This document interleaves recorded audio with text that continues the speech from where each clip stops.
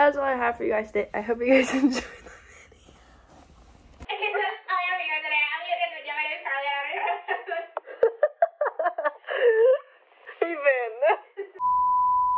So that's all I have for you guys today. I hope you guys enjoyed the video. If you did, give it a thumbs up. Don't forget to subscribe down below. And I will see you guys next time. Bye.